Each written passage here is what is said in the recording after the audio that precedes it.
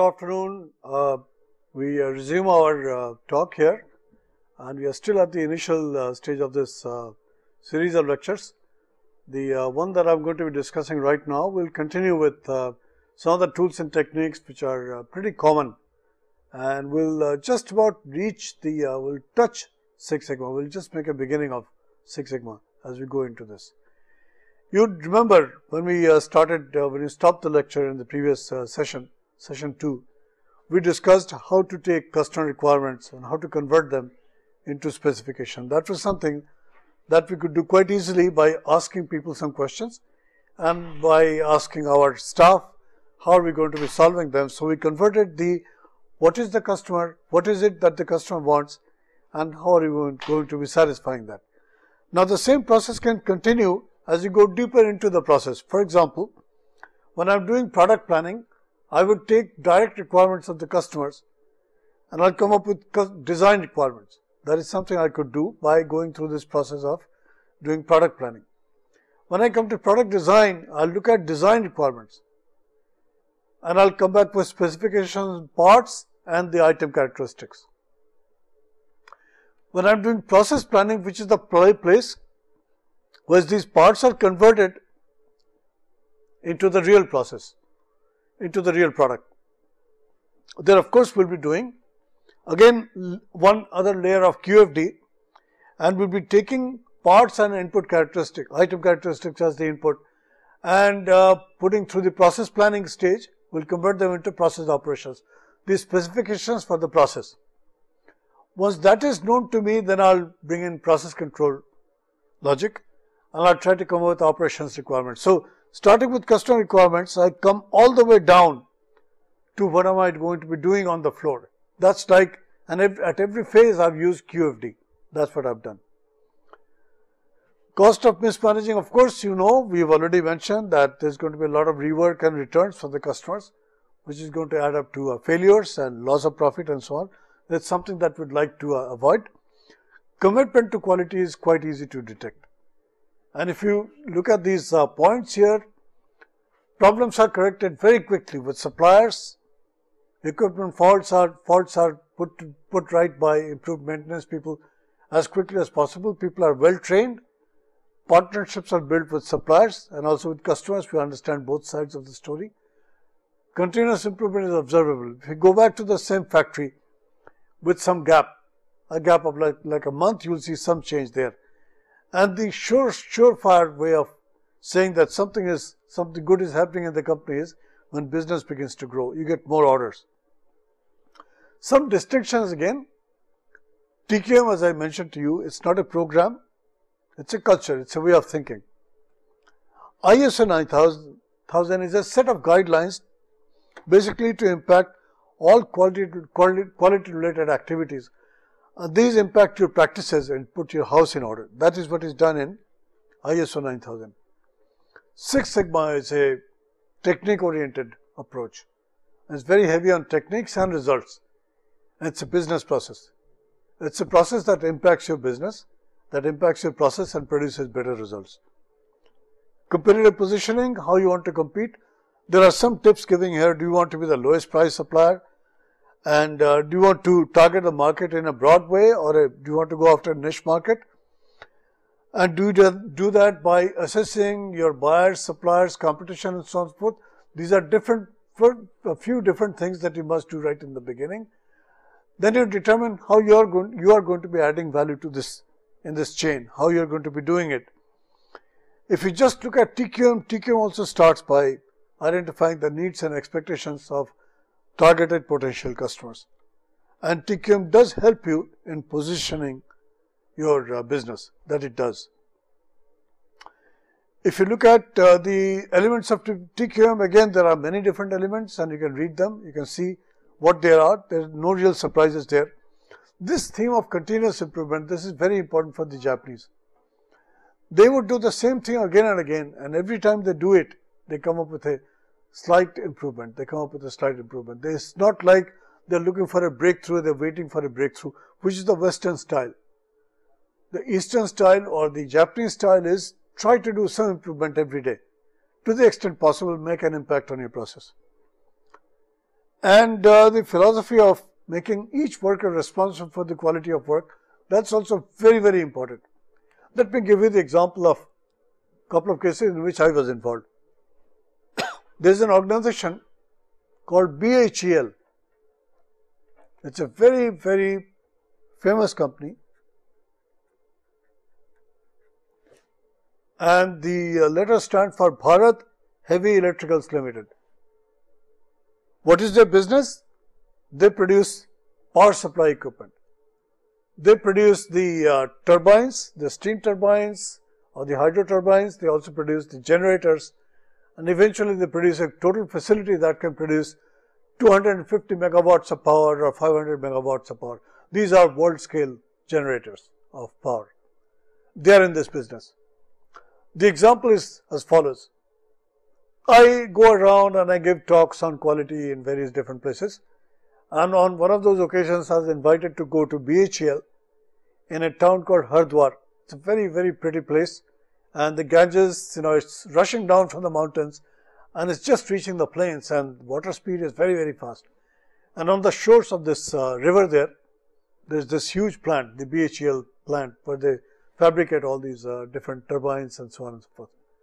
Now, I was there to give a talk and after some gap, I had some time, I had about, about an hour and I wanted to walk around and I asked people, could I go to the uh, shop floor? Lo and behold, in a few minutes, I was in the shop floor.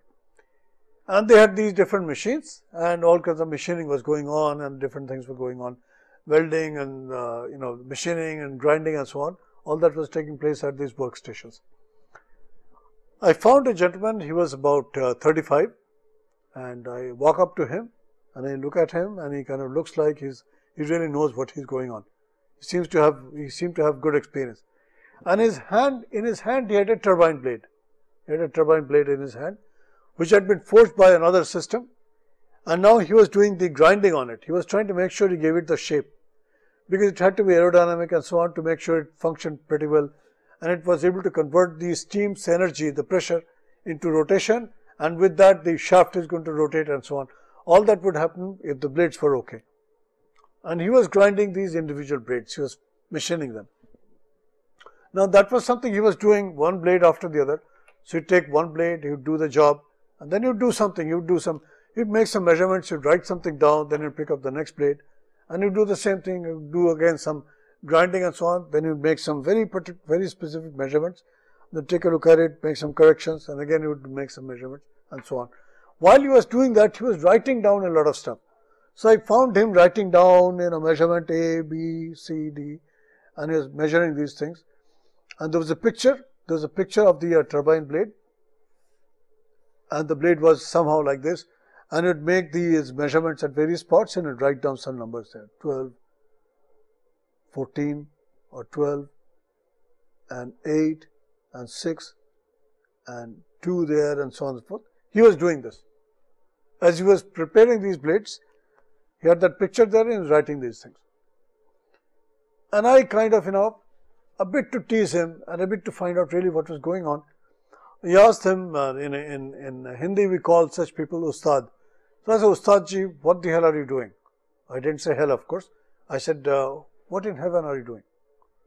And he said, uh, well, I'm making turbine blades. It's a very important part that goes into a huge turbine and what we have to make sure is that the turbines are made properly. And that means the blades have to be made properly. So my job is to produce these blades. I said, well, I see that. I see you've got this diagram you make and you're making these measurements, then you're writing certain things down. You're filling up some charts. It looks like he had some charts there and he was doing this kind of stuff. He was doing that as the blades were coming out. And I said, uh, sir, please tell me why are you bothered about these uh, uh, preparing the chart and so on and so forth. Your job is to basically fabricate that, uh, that turbine blade. So basically you'd be really worried about the turbine blade. Why is it that you're writing all these numbers down, making all these measurements? What is the use of all this? You're a machinist, you've got so many years of experience, probably 12, 14 years of experience, you should be focusing on machining. This seems like clerical work. Why are you doing this? This is the philosophy of making each worker responsible for what he is doing. And let me show you what happened. Let me tell you what happened. He really, he gave me a very stern look. And then he asked me, Sir, do you mind telling me who you are? I got a little uh, sort of a, somewhat shaken up. I said, Well, you know, I'm a teacher and I've been brought here to uh, give some talks and so on. And I had some time, so I came down to the floor and found you were doing some interesting things. So I wanted to chat with you a little bit. But I'm still very curious, you know, why are you bothered with all these, writing all these numbers down and plotting these charts? Why are you concerned with that? Said, Sir, let me tell you something. If this turbine blade that I'm making, if the dimensions are not right at the right places, and suppose this turbine blade malfunctions in the big turbine where it is put in, there are like 50, 60 such blades, they will be put around the hub and then the turbine, when the steam comes, it will start rotating. And suppose it is not balanced, suppose something is wrong with it. The turbine may basically fail and that means the generator that is connected with it with a big shaft, it's also going to fail. That means it's not going to be generating power anymore. That means whichever power station is using this and through the electric grid, suppose it supplies power to Delhi, and in Delhi, you've got all these parliaments and everything else, and marketplace and factories and so on outside Delhi. They are going to shut down. So, because of my poor work, it's very possible that Delhi is going to collapse, or Delhi is going to have a power out for maybe 6 hours or 10 hours or God knows how long. That is the reason I have to do this job right. I have to make these measurements. These are to be looked at by an engineer. He is going to make sure in the evening, after he goes through all these charts, that things are acceptable. As far as business is concerned, things are acceptable to me. You know, I honestly was more than impressed. I could not believe that this man knew the value of his work. He knew it to the point he knew exactly the impact of his not doing the job right and its impact, you know, some, some hundreds of miles away on Delhi or perhaps some other place. He knew that very, very clearly. This is one example. Let me show you the, let me talk about the other example a parachute factory. This parachute factory is also located in the north and uh, there of course we have a different kind of story to tell you. Again like I visited BHEL, I went to this parachute factory and this factory produced parachutes and these parachutes were used by these uh, amateurs, you know the uh, people whose hobby is to uh, fly uh, parachutes jump off some cliff and float around and so on. These parachutes, they were fabricated in this parachute factory. And I walk up to a particular place and a workstation there again because my talk was over and I had some time to float around. So I went down to the shop floor and I found they had uh, what looked like a bunch of tailors. Tailors means they were, you know, cutting up sheets of plastic and sheets of silk and sheets of cloth and they're stitching them, stitching them here, stitching them there and so on. They're doing this. There was one gentleman, there was one gentleman, he was actually cutting the cloth. He had a template in front of him and he was cutting this cloth. First of all, I should tell you, in the North India, there are not many places where people use parachutes.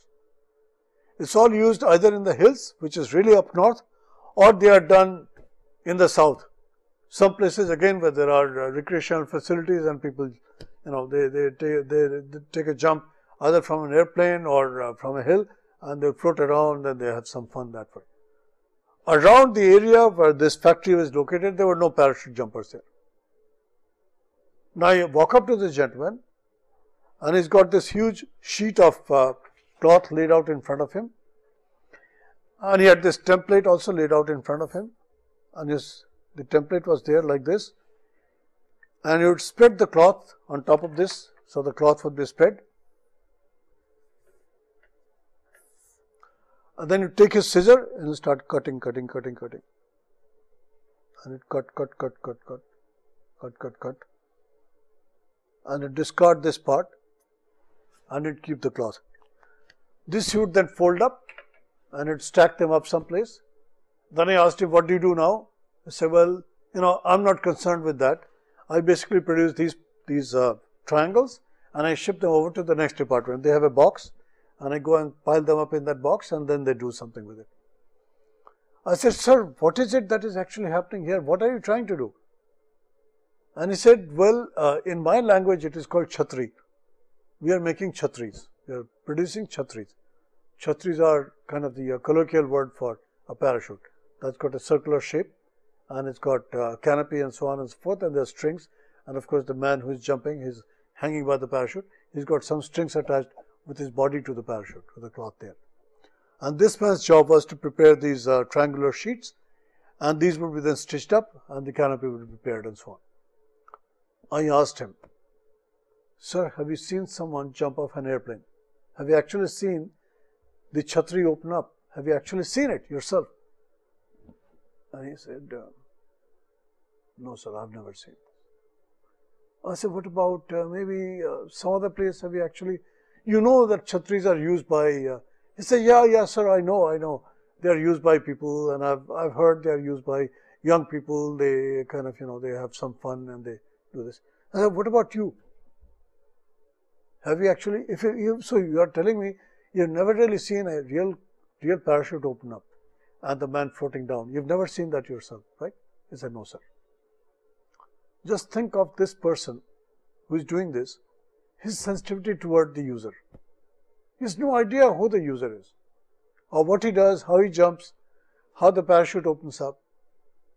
I'm sure he was probably curious, but he had never had that opportunity to interface with a person like that. Well, this was not so bad. Let me tell you what happened after this. After this little visit to the uh, shop floor, I had an occasion to have some tea with some people. These were the supervisors. And these were graduates. They were graduate engineers who were supervisors of these people. They were in charge of various shops. Somebody was in charge of the belt department, somebody was in charge of cutting department, somebody in charge of something else, and somebody in charge of stitching and so on. These guys, they were supervisors. They were at much higher level than these people there. Uh, they were having tea with me. We were sitting around the table. They were chatting about various things. Life in the factory, life in this, and so on and so forth. I, uh, the, the general manager was also there. He happened to be there. And I, again, I just wanted to ask the same question. I actually asked, uh, gentlemen, you've been here a few years, uh, three, four, five years. You're probably waiting for your promotion so you can go on to better jobs and bigger jobs. But tell me, have you actually seen someone jump off an airplane? Have you actually seen your parachutes utilized by somebody? And this is a city in the north, again in the plains. So again, there is no real local, no opportunity to watch these parachutes float around in the, uh, in the sky. There is no such opportunity there. None of these people had been exposed to that. They had been exposed to a, a site where they could really see a fellow jump off a cliff or a parachute with a parachute and the parachute open up and slowly come down to the ground. They had not seen it themselves. They're young engineers. They are supervisors. There was one person who said, yes, sir. I've seen uh, a fellow jump off a parachute. I said, well, how is it? How is it that your experience is so different from these people? They, they also seem to be you know, looking about the same and so on. They can't be much uh, younger to you. How is it that you know about parachutes?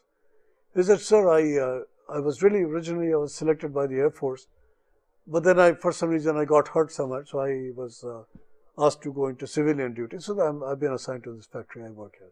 This was the only person who had physically seen a parachute, a parachute in use.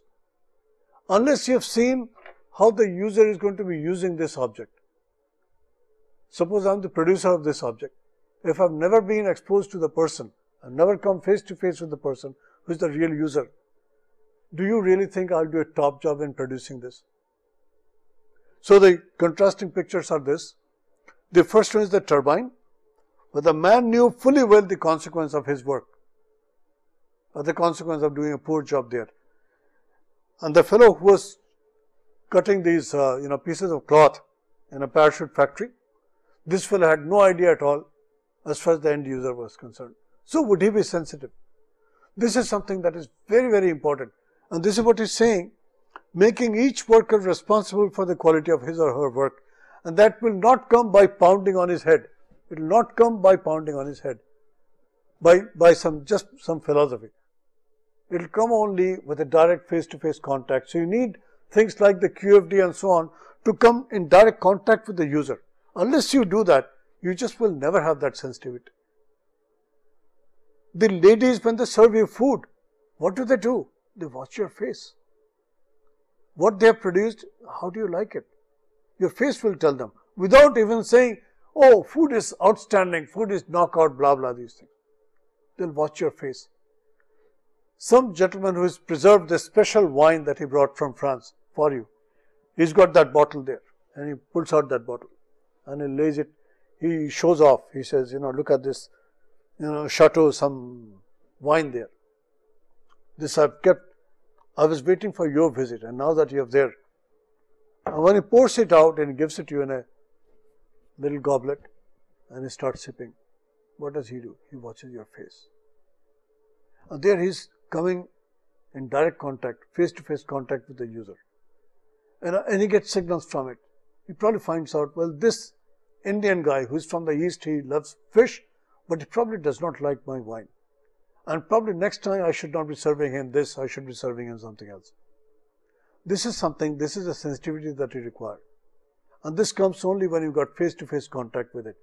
So no matter what you do in terms of your logic, philosophy and everything else, you cannot forget the customers. You cannot expect to win if you forget the customers. That's very, very important. There are obviously some classical ways to solve problems and you've got the definition of the problem, you collect data, you analyze things and you do, uh, you generate potential solutions. You choose a solution, then you implement the solution and so on. But these are classical problem solving steps. This is somewhat different from what basically Deming ended up saying. Deming said, you plan what you're going to do, some corrective action you're going to take, you carry it out, you look at the effect, and then you act, which is like take the next step to come around. This is his PDCA cycle. This plan, do, study or check and act, PDSA or PDCA cycle. This was given by Edward Deming. He gave this Process improvement obviously could proceed this way and a lot of processes they are basically worked at by this way. But in fact there are more powerful methods. So refinements have been produced of this PDCA cycle. This is one example. And you can pause the tape, you can pause your screen and you can take a look at these things, you can read them and see what they are. Not very different from what we saw in PDCA except some refinements have been done. But Six Sigma provides you a much more powerful framework. And that framework is spelled DMAIC, DMAIC. This I'm going to get into a little bit to give you a little glimpse of how Six Sigma is different. Uh, but before that, let me just remind you, Six Sigma does not throw away TQM. Six Sigma builds on TQM. So we'll catch a glimpse of some of the tools of TQM. If you have not used them, believe me, Try to use them. Try to use some of these TQM tools and you'll find how useful they are. Just this morning, there was an occasion one student came to me and he told me, sir, teachers are late coming to the class. Just think of this problem. This kid is highly conscientious. He's really strongly motivated to learn. And he comes to the class and he finds the teacher is not there. He's trying to get into the building and he's finding that the class could not be started because of a variety of different things. And he said, sir, this is something I would like to analyze, I would like to understand. Then he and I, we went to an empty class and I drew a cause and effect diagram. I'm going to give you some examples of that. I will go there gradually. So, we'll call that process improvement. So, we are going to be looking at some process improvement tools. There are a number of tools available. And As I get to that point, I'm going to pause for a minute. I'm going to bring up this issue of teachers coming late to the class. How did we tackle that? The basic, basic TQM tools include flowcharts, check sheets, histograms, Pareto charts, scatter diagrams, control charts, cause and effect diagrams and run charts. They are probably listing more than 7 tools here because some of these are quite similar. What we have to remember is that each has a specific purpose. For example, the control chart is used to control a process. And the run chart is basically, the run chart is not probably marked here. The run chart is used basically to keep track how many, run chart is right at the bottom here, to keep track of how many items produced are out of specification. So control charts have a different function. They try to help you control a process to keep accuracy in control and to keep precision in control. Two objectives. And what does the run chart do? It just tries to make sure your production is within specification. That's what the run chart will do. So there are different applications. So a process is there, there is input going on and all these different factors they might be impacting your process. So your sources of variation, variation is something that we do not like. For example, we saw our friendly chart which was like this one. And with the black distribution, you saw a lot of variation that people wouldn't like. And somehow we got it to the green distribution that has smaller variation. This is something customers would also like because everything is fitting within the spec limits. This, how does this variation occur? It occurs because of all these different factors, they are not always in control. All these different factors, they are not always in control. That's why we end up with variation. So variation is something that nobody likes. Nobody likes variation. And in particular, quality assurance people or quality managers, they should literally go mad when they see variation. They should go mad and they should try to fix it. What are some of the tools? One way is to try to flowchart the process. Go from the beginning to the end, trace the process and try to locate those spots where quality seems to be out of whack, out of control. Then you focus there and you would try to take some steps just before that to try to make sure again the process comes within control.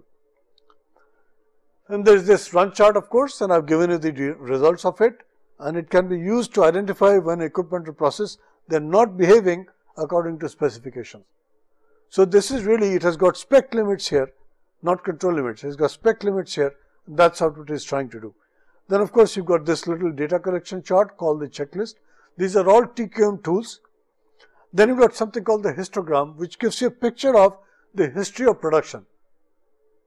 And if on top of this, suppose, suppose I am able to superimpose specification limits, then I can find out, you know, what are the parts that are out of specs and which are the parts, what is the fraction of parts that is within specification. That's something that I could do quite easily with the histogram.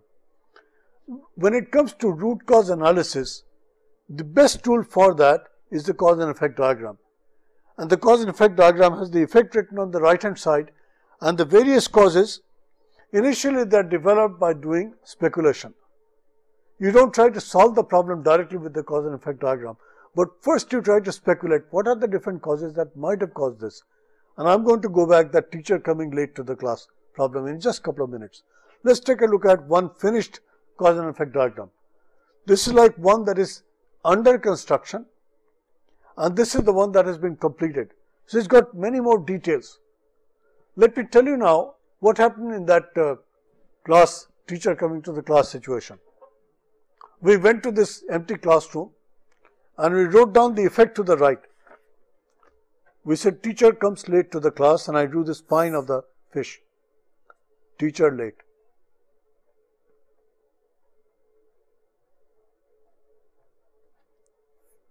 And this could be caused by a variety of different things.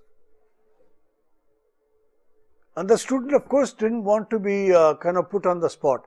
He did not want to really come up with the factors himself. He knew many factors. But he didn't want, because I was a teacher, I am a teacher, he didn't want to sound like offensive. So he held back a little bit. Then I had to provoke him a little bit. I had to provoke him a little bit. So I started out by saying, well, the teacher is late, maybe because the building is locked. Could this happen? He said, Sir, yes. Uh, what about rain? Rain and flood? Could that also prevent this teacher to come? Rain and flood? He said, Yes. Then we started saying, What about other factors? Is it possible that he woke up late? So he woke up late, alarm didn't go off.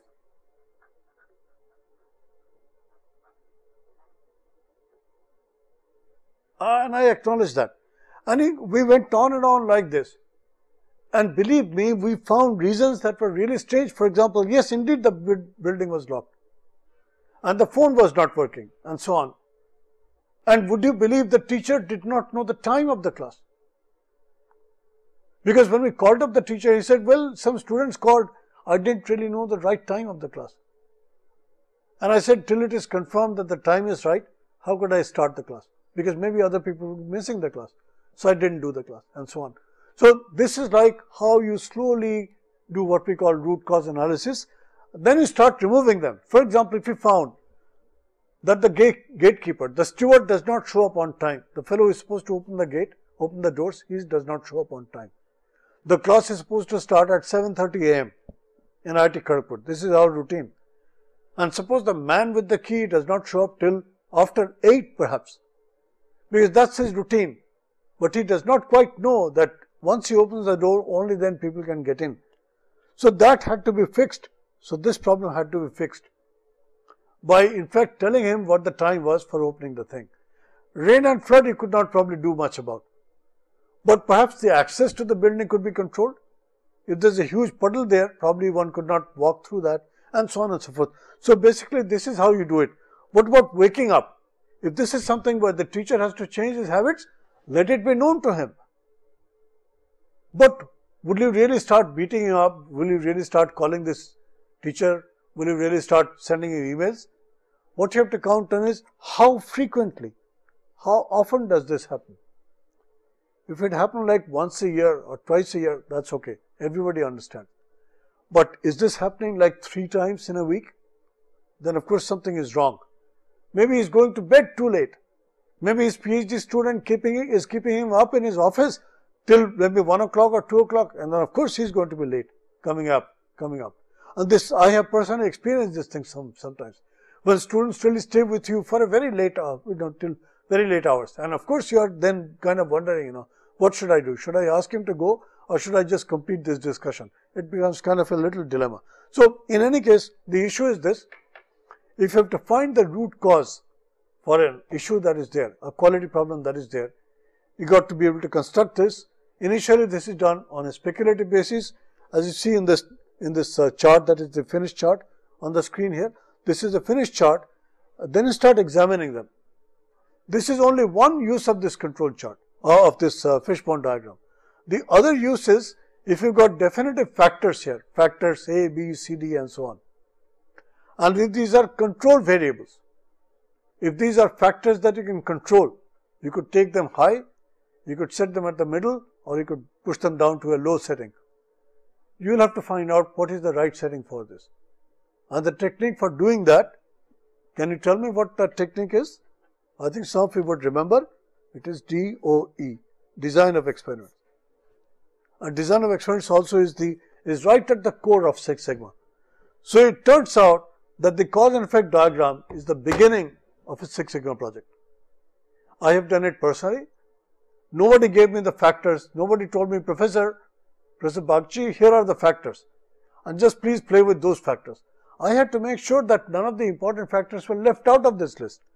For that, I had to get back to the cause and effect diagram. I really had to get down to this. I had to make sure all the important factors are captured. Then we would, you know, construct a matrix and we'll start doing our experiment. So it's a very, very important tool. I just can't tell you how important some of these tools are even in a large project like the Six Sigma project. Then of course you've got SPC and SPC comes along not, not exactly at the start of your Six Sigma project, but in the control stage, DMAIC.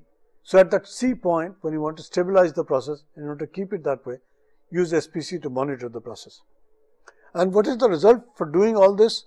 If you start with the process, look at the look at the distribution on the left hand side. It's wide. That means perhaps my product is probably out of specification occasionally. I should just remind you that here I've got control limits. I don't have spec limits because what I'm plotting here is some variable like x bar or r which are really statistical in nature. These are not individual measurements. Then of course, after some work, after some troubleshooting, I'm able to narrow down the variability. So variability is maximum at this end, it's medium here and it's narrowest here. Hopefully more customers, more customers are going to be satisfied at this level. This is something I've got to remember. This is like one tool. How do I get ideas? Well, the best way to get ideas is by brainstorming. And there are those rules. If you have any doubt, pick up some books that discuss brainstorming and look through the chapter or go on internet and just type uh, brainstorming and just see what comes out. You'll get many, many people who are writing on this brainstorming. You'll find many articles on it, perhaps even white papers, and you just read them. It's not that difficult to basically learn about. It is somewhat difficult to control yourself when you're in a brainstorming session, session because we tend to speak up and we tend to control others. Quality circles is the same way, interviewing is like another way to generate ideas, benchmark is a great way and the Japanese method for 5 whats and 2 hows, that's like another method by which you could do that. Quality circle, I'm just going to be, you know, basically displaying these uh, uh, these uh, screens here for you, these uh, slides here. Quality circle is a team approach, of course, it's a made up of volunteers and so on and it works very well unfortunately in the eastern cultures. It does not work so well in the west because tend to be more people tend to be more individualistic. That's why it does not seem to work there. Generating ideas of course brainstorming is a great way and uh, this is like something that you should really practice and you should really see how a good person does that. Benchmark is a great way to find out how other people are doing the same thing but they are doing it better you basically, you just have to go there and observe what they are doing. So, for example, let's say you want to improve your study habits or you want to come up with, uh, you know, with high grades in your class as an example. Somehow find a person who is better than you and observe how he spends his whole day. Find out what all different activities does he involve in, himself in. I mean, yes, his IQ may be different from yours, but what about all the other stuff that he does? Perhaps when he leaves the class, he goes to an isolated area and he glances through the notes. Perhaps he takes a pen and he marks all those things that he needs to get clarification on. Perhaps when he comes to the class, he sits right at the front bench and he's always interacting with the, with the teacher to try to find out what is going on. Perhaps he tries all the problems that have been assigned to him. Perhaps he cross checks the answers with other people. Perhaps he works in a group. So find out what all things he is doing and find out things that you are not doing. This is the way to benchmark yourself. His benchmark is here and you are here and you have to rise up to that level. This is also done by industry. Many industry institutions, organizations, they encourage benchmarking because they want to be competitive, not so much competing with each other because people may come from different areas. For example, here I've got American Express. They have a way to get customers to pay up quickly and many people, many companies have real great difficulty in getting people to pay on time. Disney World, look at employee commitment. And every time I have visited the Disney World or the Disneyland, I've been amazed by the dedication people have there. These are the workers. They probably do not get a get a lot of money. They don't. Their pay is probably not very different from other places. But somehow the the organization it's been able to inspire them in a way they feel they are there only to provide the service to entertain people. That's what, and it shows on their face, it shows in their actions. Federal Express for its speed, it is considered to be a benchmark. McDonald for its consistency, whether it's Tokyo, whether it is Delhi or it's New York or any place. You go to McDonald, you order something, you order a fish burger, it will have the same taste. The tartar sauce will have exactly the same, you know, tangy feeling and so on and so forth. It's so consistent, it's just amazing. You would not even know where it came from. Xerox for its benchmarking methods. If you just want to learn about benchmarking, look at what Xerox does. That's like a great way to do that. So there are some details on benchmarking process and I'm going to be flipping through them and you can pause if you want, you can read through them and you can find out exactly how this is done. So this is going to be basically a couple of slides are there to summarize what all things are there in terms of the tools and their utility. These are all TQM tools, they are all utilized in, uh, in um, eventually going your Six Sigma projects. Your suppliers can also give you good ideas, that also comes along. Something you got to keep in mind is that in any of these things, whether you are drawing control charts, you are doing design of experiments or any of these things, you are making some measurements. And you got to make sure your instruments are proper. There are two things, there are two very important things in regard to instruments.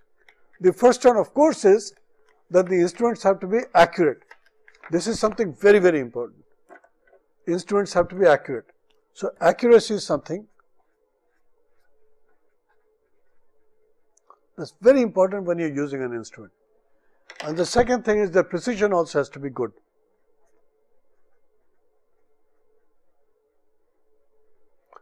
And let me define these terms for you very, very quickly.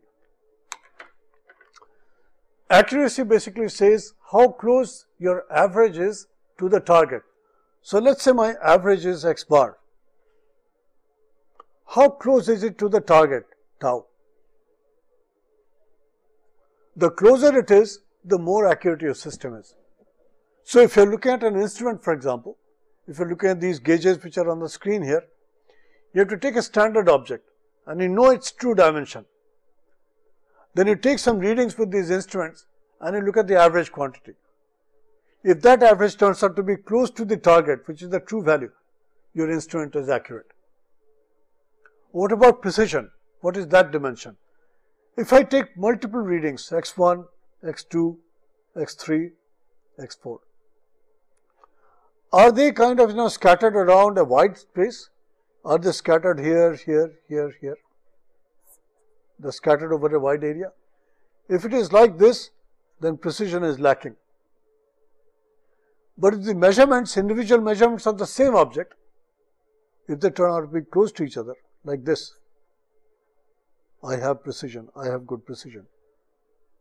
So, it is the spread of repeated measurements that will indicate to you how precise that instrument is. And these are two things that are also very important in process control. When it comes to accuracy, we want to make sure our processes, they stay in control, they are accurate and also they are precise. To try to make sure that a process is accurate, we use the X bar chart, the X bar control chart. And to try to make sure my precision is there, I use what is called the range chart or the R chart. The R chart will make sure that you are able to get precision in your in the delivery on the output side of the process, which I'll discuss again when I get to SPC. I'm going to be discussing these again. You just be aware of it. So instruments have to be right, and there are certain things that are called gauge R and R study. You know the the the the uh, fineness with which you can make measurements. Your calibration should be right. Calibration, by the way, it helps you make an inaccurate instrument still provide you measurements that you can take to be corrected, calibrated readings. And if the instrument has been calibrated, you know that a certain reading is equal to a true reading of this value. That is done by the calibration plot. So this is something you got to keep in mind and this is something kindly take, in, take into consideration whenever you are using an instrument. Please go through the records of the instrument and try to find out it has been calibrated using some standard methods. Then of course, if variation is there in the thing, then your precision could be impacted and for that you have to do some studies and you may have to run some special special tests, special experiments to get an idea of how precise that instrument is or how poor that precision is. And this whole area is called gauge R and R. If you are collecting some data, part of that data could be because of the parts that you are using and part of it due to measurement errors. Part of that data, the variance that you see in the, in the actual data, the, the numbers that you have collected that have come out of the instrument readings, those could be due to the true parts and that those, those true variations could be because of the different parts you are using. These different parts, when they are produced at different times, there may be some natural variation. You know, their, their heights are different, their thickness is different and so on. That is the natural variation, that is a part to part variation. But if I am using an instrument to measure their height, then the instrument also itself can introduce some variation. So there are two parts of it. There is the parts variation and then there is the measurement variation. It's very important for us to make sure measurement variations are as small as possible. And most of the variation that I see in the data is really due to parts variation because that is what I am after. I couldn't be bothered about the performance of the instrument. I really want to make sure the data that I see is reflecting the true part to part variation. That's what I would like to see. For that you have to do this gauge R&R study and some special methods are there. I'll just mention this word to you, gauge R&R. So wherever you are, you please try to make sure people have done a gauge R&R study. Before you go into your TQM application, before you go into your control charts, before you go into your Six Sigma projects, please make sure the gauge R&R studies have been done. Only then you start your Six Sigma project. This is like taking care of your groundkeeping, basically your, your housekeeping. So measurement errors actually they themselves could be caused by people or they could be caused by instruments. If there, there are different technicians, we say if different technicians are producing different readings, the measurement system has a reproduce, reproduction problem. And if the same instrument produces different readings in the hands of the same individual, then there is a repeatability problem. And these again have to be understood. And you got to make sure that this total measurement error again is quite low. And normally speaking, in industry people say measurement error should not be more than 10% of what you are trying to measure. That's just like a rule of thumb, that's all. It may not be good enough for you, but that is something that we'll have to do. Then of course is this issue of external benchmarking. That is like you take your work workers to another company. For example, if there's one particular company that produces electronic parts, like you know inside mobile phones there are these little printed circuit boards on which they've got the transistors mounted and the resistors mounted and coils mounted and so on. Sometimes that soldering is not quite good and you have some defects in the instrument or the instrument stops. For example, even a little mouse here, inside there are some soldered parts and uh, if the soldering has not been done very well, you may have difficulty in using the instruments for example. In the old days, the PCs used to be that way. Many of those, they came out hand assembled parts and they did not really behave very well. The issue was this, how do you produce well, good, you know, properly soldered printed circuit board? A machine came along which is called a wave soldering machine. And this really lets the PCB, imagine the PCB floating on this, the, the little wave of molten solder and the PCB floats on it. When it comes in contact with the molten solder, it picks up, it picks up the solder and the joints they become properly properly tinned and so on and the solder is perfect. Now this is all fine if my machine is controlled very well. This is a process machine and I'm floating, I'm basically floating these parts from one end to the other and there's a heating stage, there's a warming stage and so on. Then I insert the parts and so on and then I bring them over this thing, then I cool them off and so on. This is a process with different stages. If this process is not controlled well, you may not work with you may not get, get proper outputs. There was one company where they were using this wave soldering system to produce their parts. And they had converted onto this wave soldering system because they got tired with their manual soldering. They had all these, you know, the soldering guns and it was hanging by a, by a cord and the worker would go there and you'd solder this, then you'd solder this, then solder this and so on. That's how he was doing his assembly. And they found this was highly labor intensive. So their intention, intention was to produce good parts and also make sure they could cut back on labor requirements. So they installed this gigantic wave soldering machine. After six months of operation, they could not really produce good parts with this new system. They could not do it. In fact, they had to bring all those people that they had laid off back in the shop again and their job was to take these parts, these uh, parts that were not really behaving very well and touch them up here and there and so on, touch them up so that they could be put into the uh, real machines inside, maybe uh, mobiles or whatever they were, they were, they were supposed to go inside. And they were really frustrated. And again, I got called in and I was told, could I help them in certain ways? And I looked at their system, I said, uh, well, it looks like a lot of things really are, have not been aligned properly. So you have to do some study and do it. And the manager, like most managers, he was very impatient. He said, well, Professor, I don't have that much time. I've already spent six months and I think I've done all the training that I could and still we do not get good parts. What do we do? What do you think we should do? Our professor obviously took some time. In uh, two, three days, uh, once I was brushing my teeth early in the morning and I got this idea. Maybe what I could do is I could load up these guys, these uh, workers and a couple of supervisors in a mini, mini bus and I could take them to a place where they had a properly functioning wave soldering system. And I'd let these guys just watch. Don't ask any question, nothing at all, just watch. Watch this system in operation. They had their own system in their home, in their home base, which is their factory where they worked. And they be taken to this new place, the other factory.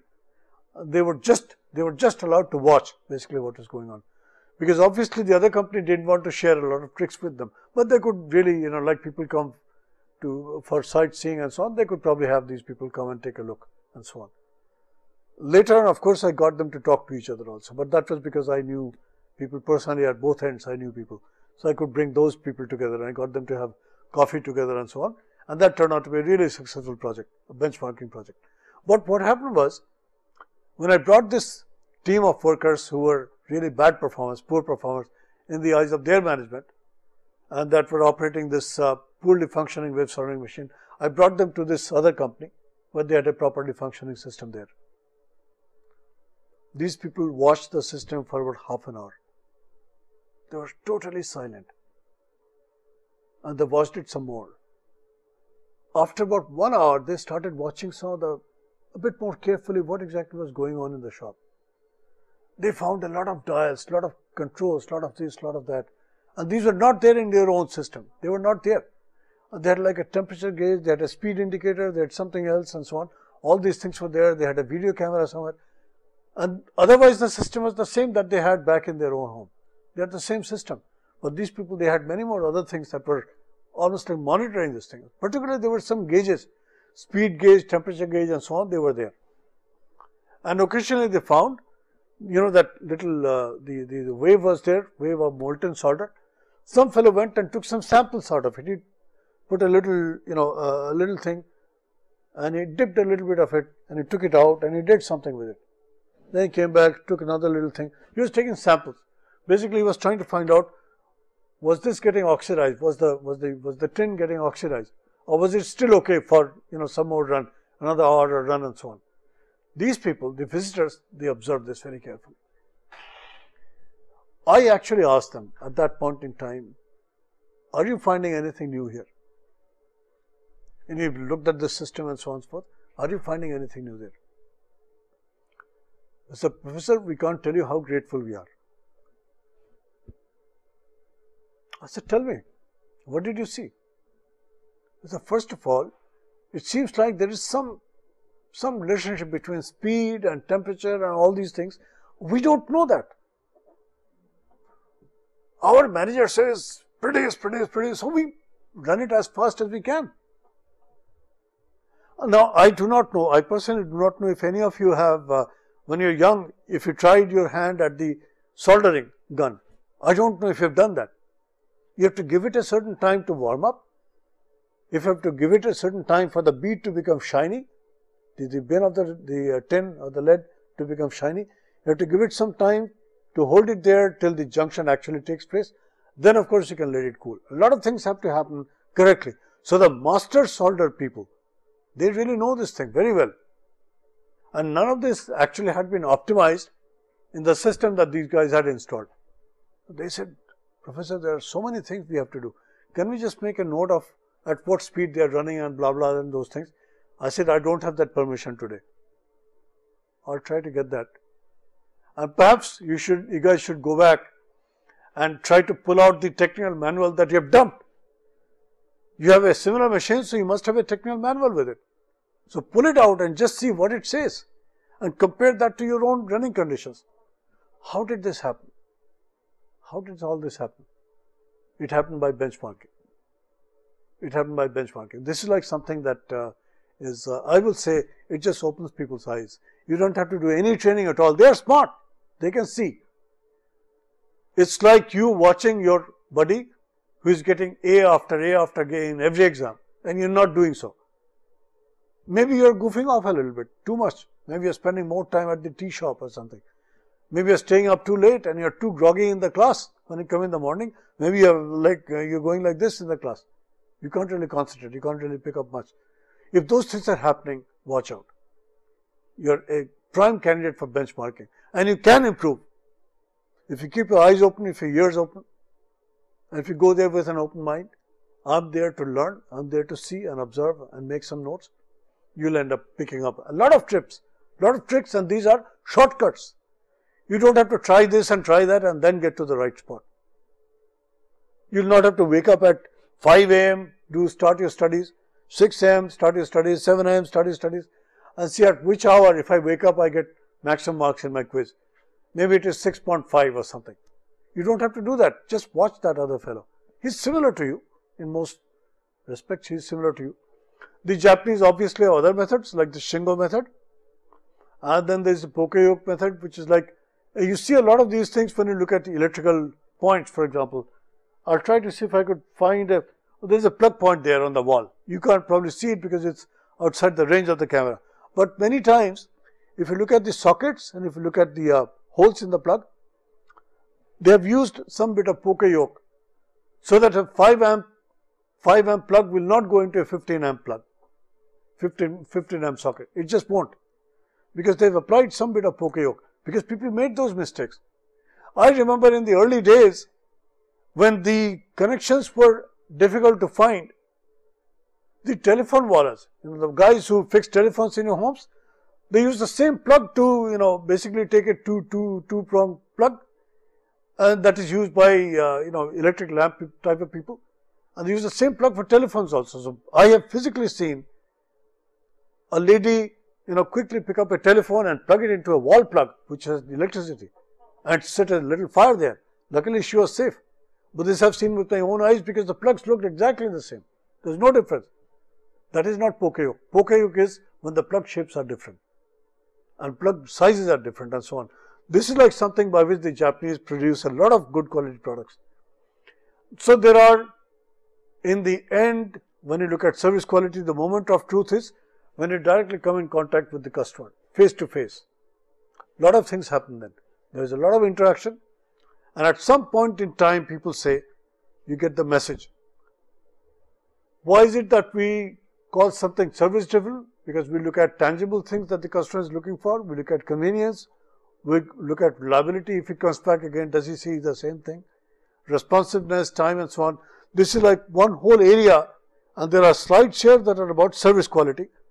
And service quality has obviously a lot of these things.